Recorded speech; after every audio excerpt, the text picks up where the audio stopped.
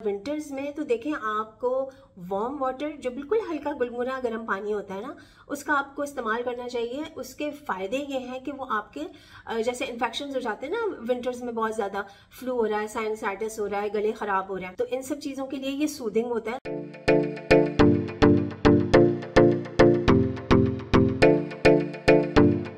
अस्सलाम वालेकुम back to my channel this is doctor Sadia Shaikh वज़न कम करने के लिए सर्दियों में स्पेशली गर्म पानी का इस्तेमाल करना चाहिए या ठंडा पानी इस्तेमाल करना चाहिए। कुछ लोग कहते हैं गर्म पानी इस्तेमाल करें उससे ज़्यादा जल्दी कैलोरीज बर्न होती है, ज़्यादा जल्दी आपका वज़न कम होता है।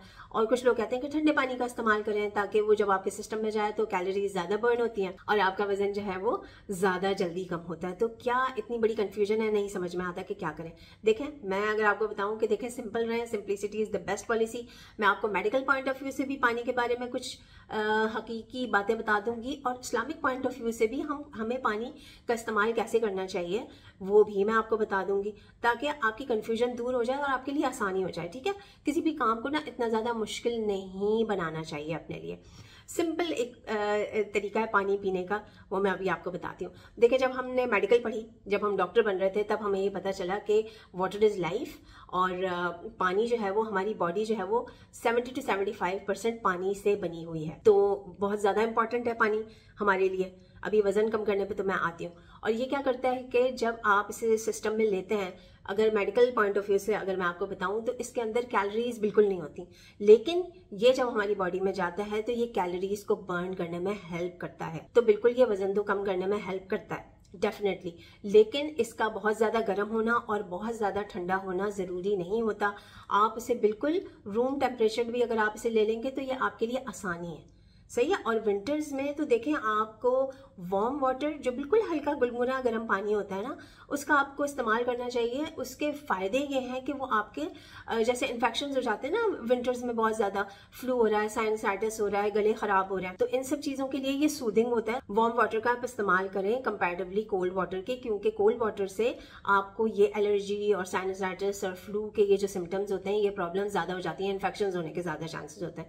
तो सबसे बेस्ट स्ट्रेटेजी ये है कि रूम टेम्परेचर पानी ले लें या फिर हल्का गुनगुना गर्म पानी पीना है बहुत ज़्यादा गर्म पानी पीने से ज़्यादा जल्दी वज़न कम होगा तो ये एक बहुत बड़ी मिथ है, ठीक है? या फिर बहुत ज़्यादा ठंडा पानी पीने से आपका वज़न ज़्यादा जल्दी कम होगा तो ये भी एक बहुत बड़ी मिथ है। अच्छा इसके अलावा आपको किन सब चीज़ों का ख्याल रखना चाहिए? जब आप सुबह सुबह उठते हैं तो मैं हमेशा ये कहती हूँ कि आपने अपना डे जो है, वो पानी पी के स्टार्ट करना है। टी, कॉफ़ी डायरेक्ट नहीं लेनी है। आप पानी पिए और पानी में लेमन और सिरका आपने इस्तेमाल नहीं करना। कोई फाइबर वाली चीज़ डालें। क्योंकि आपका जो एम्प्टी स्टमक है, आपको एसिडिटी और अल्सर्स होने के चांसेस होते हैं अगर आप सिरका या लेमन वाटर इस्तेमाल करते हैं। लोग वज़न कम करने के लिए ये सब करना शुरू कर देते हैं ना तो ये नहीं करना। लेमन वाटर और सिरका वाटर के अपने बहुत ज़्यादा फ़ायदे हैं, वो मैं आपको डिफरेंट वीडियोज़ में बता चुकी हूँ ऑलरेडी और भी अपकमिंग वीडियोज़ में बता दूँगी कि उसका इस्तेमाल कैसे करना चाहिए।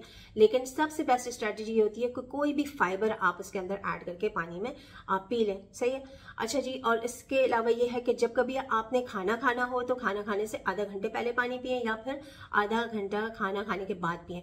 ड्यूरिंग खाना आपको खाने में दौरान पानी नहीं पीना चाहिए क्योंकि आपके जो एसिड्स होते हैं ना, आपके स्टमक में जो एसिड्स होते हैं, वो खाने को डाइजेस्ट करने में बहुत ज़्यादा हेल्प करते हैं। तो अगर हम पानी ले लेंगे तो वो डाइल्यूट हो जाता है आपका एसिडिक सिस्टम और आपका खाना जो होता है वो अच्छे तरीके से एब्जॉर्ब नहीं हो पाता। सही है? इसलिए खाने खाने के दरमियान आपने पानी नहीं पीना तो पानी आपने रूम टेम्परेचर पीना है। पूरे दिन में आप दो से तीन लीटर पानी पिए। और पानी पीते वक्त आपको इस चीज़ का ख्याल रखना है कि आपने डायरेक्ट टैप वाटर से पानी नहीं पीना।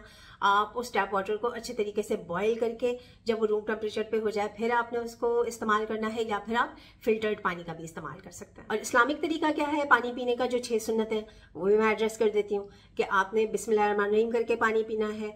सीधे हाथ में ग्लास पकड़ के आप पानी पिए, आराम से बैठ के आपने पानी पीना है। नंबर फोर ये कि पानी को देख के पीना है कि उसके अंदर कोई चीज़ तो नहीं है। नंबर फाइव ये कि आपने तीन सांसों में पानी पीना है सिप सिप करके रिलैक्स होके। और नंबर सिक्स ये कि पानी पीने के बाद आपने अल्हम्दुलिल्लाह कहना है। और एक और बात मैं यहाँ पर एड्रेस करना चाहती हूँ कि कुछ लोग, जैसे दम दुरूद करने के लिए पानी पे जो है वो कुछ पढ़ के कुछ फूंकते हैं। सही है? तो उससे क्या होता है कि हम अपने ही जर्म्स जो है वो पूरा उस पानी के अंदर डाल देते हैं तो वो पानी तो कंटामिनेटेड हो जाता है। वो ज़ाया हो जाता है बिल्कुल पानी।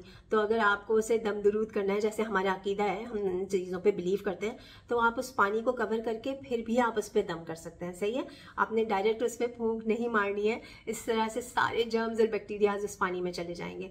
तो वो पानी पीने का काबिल नहीं रहता। तो ये सिंपल सी चीज़ें हैं कि आपने रूम टेम्परेचर पानी पीना है वज़न कम करने के लिए भी क्योंकि वो वैसे भी आपके सिस्टम में जाके कैलोरीज बर्न करेगा खाने को अच्छे से डाइजेस्ट करेगा और जो चीज़ें मैंने समझाई हैं उन सब चीज़ों पे भी आपने फोकस करना है। और अगर आप सुन्नती तरीके से पानी पियेंगे तो आपको सवाब भी ज़्यादा मिलेगा।